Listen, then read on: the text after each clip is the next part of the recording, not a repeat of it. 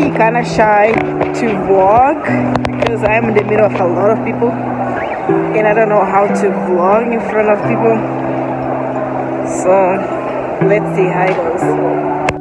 I'm sorry for my English speaking people, but I'm start to speak in Portuguese for the, the rest of this video and then I'm gonna just put the subtitles in English. Hi everyone! Hi! Então vamos lá, gente. Aqui a gente tá passando no portão pra embarcar. Logo depois desse vídeo você vê a gente jogando Uno pra passar um tempo. Logo que a gente entra no avião, a gente vê um monte de crianças de 14 a 16 anos que são escoteiros e estão indo para uma, pra uma convenção internacional de escoteiros na Coreia do Sul. E aquela imagem clichê de avião não pode faltar. Então aqui tá a asa do avião e um pouco do céu para vocês. Depois de algumas horas de voo, a gente, pessoal do Brasil começou a jogar truco com o pessoal dos escoteiros da Argentina. E foi muito legal de ver. Só um pouquinho da comida que a gente comeu no avião. Isso foi a nossa segunda refeição, um, um frango a curry com legumes. Tava mais ou menos, não tava muito bom, não, vamos dizer assim. E o que eu tava fazendo pra me distrair, pelas 12 horas de voo, que eu esqueci de falar lá antes,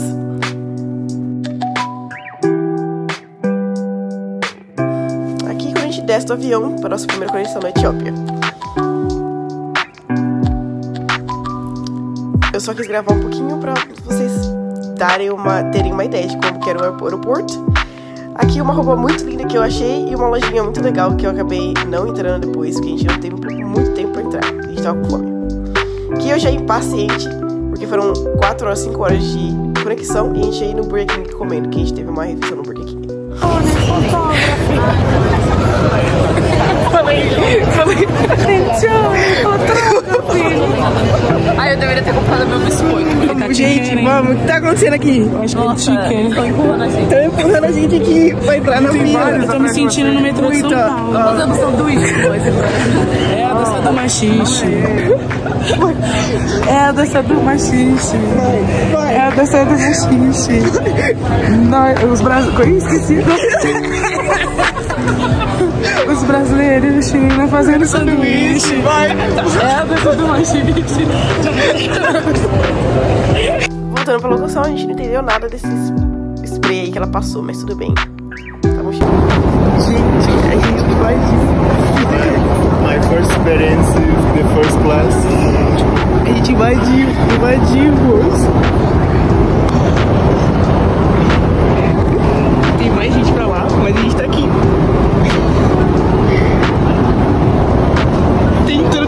Cadeira. Nesse vídeo, a minha primeira impressão de Chengdu. A gente descendo depois de 10 horas de voo. Um voo que eu tava muito, muito agoniada, mas nessa hora eu tava dando graças a Deus que a gente tava descendo e a gente tinha acabado essa fase de viagem. E agora é só diversão. E competir, né, gente? Não pode faltar.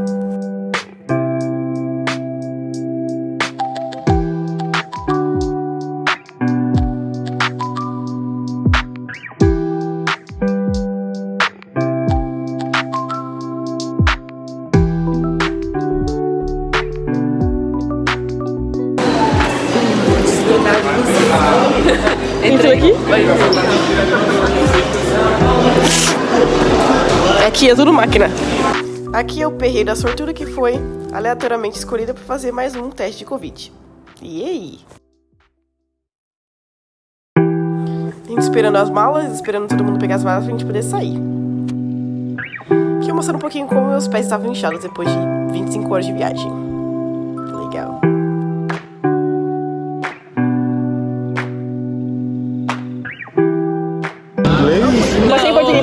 Tá. Quantas, quantas horas a gente passou viajando?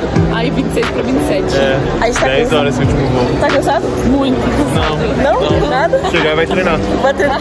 Direto. Ele, só ele, só eu não, pelo amor de Deus. Tem que andar um pouco pra desinchar os pés. Eu não vou andar nada não.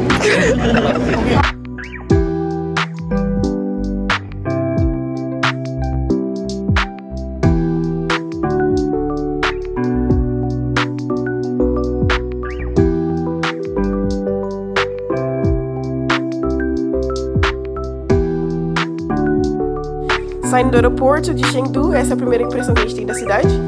E nós estamos no ônibus indo pra vila, que a duração dessa viagem dura de uma hora. Eu tirei um cochilo aí no meio, então a gente só vai voltar quando chegar na vila agora. Primeiras impressões da vila, tinha essas bicicletinhas bonitinhas, um, umas quadras ali, e eu só fui gravando o resto. Você pode ver aí, fique com as imagens.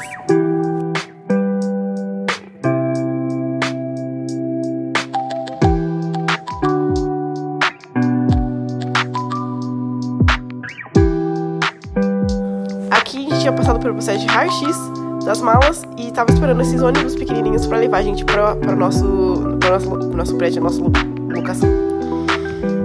A viagem, né? um pouquinho da viagem da, da onde a gente estava até o onde a gente vai ficar.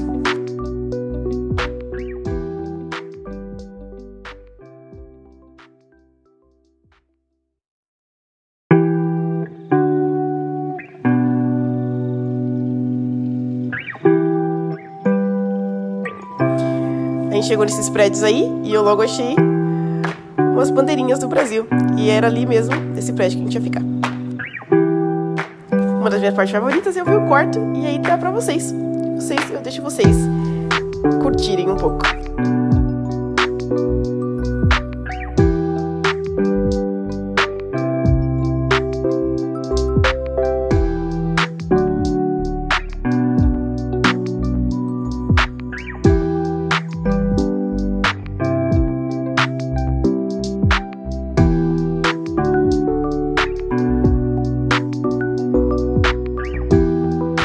Se cai a qualidade do vídeo é porque eu tô gravando de celular. Mas essa aqui é a chave da, da, da porta.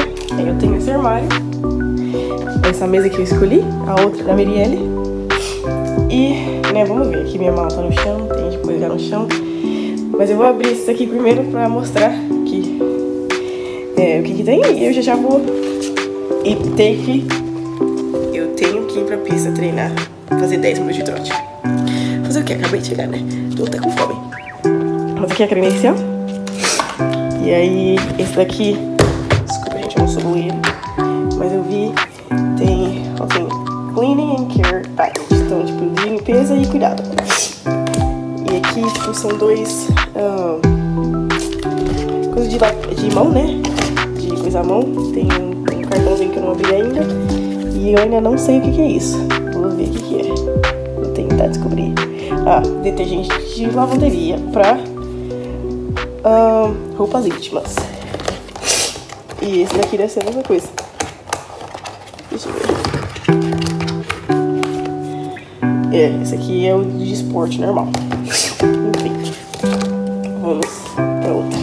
Ah, essa aqui tem essa bolsinha, né? Que com certeza vai pra casa. Vamos ver o que tem dentro. Uma caixa de som. Speaker. E eu usei o negócio, acho que era pra mochila, pra mochilinha. Uma alça. Mais um cartãozinho que depois eu. Enfim. Tem uma, uma sacolinha pra colocar roupa. Isso daqui, não faço ideia. Mais um hand sanitizer pra limpar a mão. Isso daqui que eu achei engraçado é um perfume. Vou quebrar já. Perfume pra aromatizar a casa. Tipo aqui, né? Lenço umedecido. Lenço umedecido. Uh, lâmpada. Coisa de cabelo. Um copo. E essa necessaire aqui. Tem sabonete. Um, pente, escova de dente. Não precisava comprar escova de dente porque já tinha. Shampoo e condicionador. E a pasta de dente. Que eu acho que eu vou gostar porque eu acho pasta de dente diferente. E um copo. Apple. E essa daqui já vai pra casa, né? Como você já sabe. E esse maior. Eu vou fazer um só pra ele lá na cama. É a mesma coisa lá do vídeo. Daily Nuts. Um monte. Um monte de desse negocinho aqui. E esse aqui é o mais importante, né? Que eu gostei mais que eu vou abrir. E tem um bolinho ali no fundo. Essa eu vou comer. E tem essas batatas. Eu vou comer batatas. E isso daqui agora. Eu falo pra vocês como é. Eu com bolinho como as outras coisas. Mas vamos ver.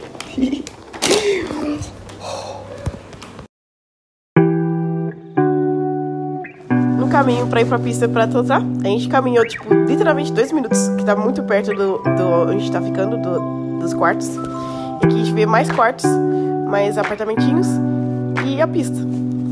Essa é a pista de treinamento 1, que a gente tem duas pistas de treinamento. Essa não tem é, equipamentos, na outra tem barreira, essas coisas. Assim, depois que a gente trotou, a gente foi tomar banho e voltamos pro refeitório pra comer. E aí tem de tudo, de tudo quanto é comida que você possa imaginar. Na sua cabeça tem. Então, mas por aí, vocês vão ver o meu prato depois. E eu tô mostrando um pouquinho as imagens de como que é lá dentro.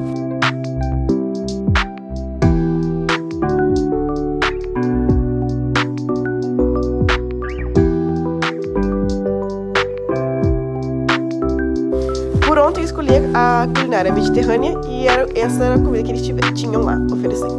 Então eu peguei uma batata frita, um, um, uma carne de porco e um macarrãozinho, né, que não pode faltar. Meu vlog de acaba aqui, eu coloco a foto da comida aí pra vocês, mas eu também vou ficar postando as coisas aos poucos do que eu vou vivendo aqui, tá bom?